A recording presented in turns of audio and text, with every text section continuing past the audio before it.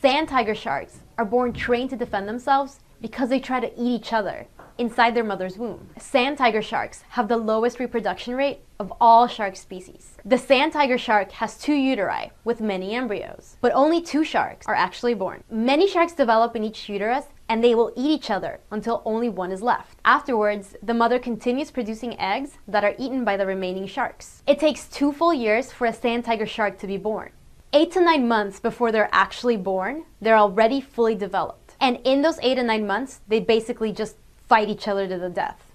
Hey guys, be sure to check out last week's video. And remember to subscribe for more OMG facts.